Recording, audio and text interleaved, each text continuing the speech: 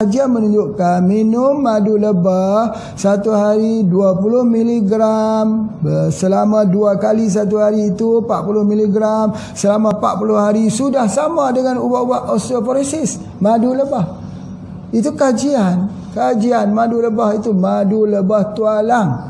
Kerana apa? Di dalam madu lebah petualang itu ada bahan-bahan sama ada dia ada enzim 3%, sama dia ada mineral, sama dia dia ada vitamin di dalamnya. Tetapi apa yang Pak nak sebut bahawa dia bukan hanya setanding dengan ubat-ubat osteoporosis, madu lebah malah lebih tinggi. Dia tidak perlu kepada pemrosesan ekstrak yang jadi mesin ekstrak yang tercanggih terbaik ialah lebah itu sendiri jadi mesin ekstrak. Hmm, mesin ekstrak hidup apa? Lebah. Lebah itu mengekstrak yang kita tidak tahu. Yang kita tahu mungkin kita tahu ada propolisnya, ada royal jelly-nya, ada daripada apa bipollen dan sebagainya. Itu yang kita tahu ada lebah trigonanya, ada lebah yang bersifat yang ada racun dan sebagainya. Itu yang kita tahu. Tetapi kajian menunjukkan bahawa pengambilan madu lebah satu hari dua senduk tu, dua senduk besar, dua senduk maksudnya dua sudu besar itu diambil pagi dan petang mengelakkan daripada masalah osteoporosis dan menjadi obat kepada osteo osteoporosis. Madu lebah. Maka terbukti bahawa madu itu obat untuk manusia. Ubat untuk manusia tidak ada virus yang boleh hidup di dalam madu lebah. Tak ada virus yang boleh hidup. Ada percobaan masuk virus dalam madu lebah. Tapi di esok hari virus semua mati. Kuman semua mati. Ajaib kepada penciptaan Allah SWT ni. Jadi dalam keadaan virus COVID-19 ni kenapa kita tak ambil madu lebah? Kenapa? Kenapa tak memunculkan pengobatan? Nabi kata kalau ada kesembuhan, kesembuhan itu ada pada madu, ada pada asal, al-ijamah, al-kai. Sebab apa? Sebab kita tidak pernah diajar untuk merenung pengobatan dan hadis-hadis Nabi sallallahu alaihi wasallam sehingga kan kita pandang sepele. Sehingga kita pandang itu sebagai satu pengetahuan yang tidak ada asas. Nanti banyak orang minta pula kepada Pak Haji, mana data klinikalnya pula daripada madu lebah ni? Data klinikal apa terang-terang hadis Nabi.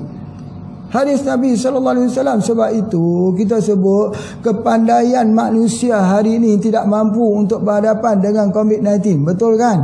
Orang cerdik, orang besar, orang pintar, orang bersih, orang kuat, orang ada wang, orang ada kepakaran, orang yang makan doktor-doktor lagi jatuh. Perawat lagi jatuh. Kalau kita ada keupayaan, kita tak ada keupayaan. Kalau oleh sebab itu, maka mari kita mengaku.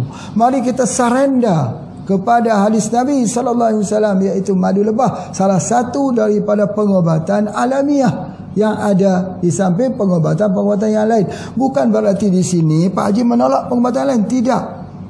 Orang Islam itu dia tak akan menolak suatu pembaharuan, suatu penemuan. Karena penemuan itu juga minallah daripada Allah bukan daripada kebijakan kita. Kalau Allah tidak kurnia kita tidak akan diberi pengetahuan. Jadi oleh sebab itu maka kita kembali semula. Jadi madu lebah ini dalam satu penelitian didapati bahawa boleh dijadikan untuk ubat osteoporosis. Baik. Kalau kita ambil kalsium yang dijual itu dijual tunggal ada dijual itu sama ada dengan madu lebah? Tak sama. Sebab pengambilan lebih kalsium lebih berlebihan akan menyebabkan pengurangan penyerapan zinc atau seng. Bila penyerapan pengurangan zinc, ambil kalsium tinggi, zinc kurang. Jadi oleh sebab itu, maka Allah jadikan stabil. Dalam madu lebah itu sudah ada kalsium, ada zinc, ada magnesium, ada mineral-mineral yang teratur dalam susunannya. Berapa persen ini, dua persen ini, sepuluh persen ini, tiga persen. Siapa yang letakkan percentage itu? Percentage itu bukan kita yang letak.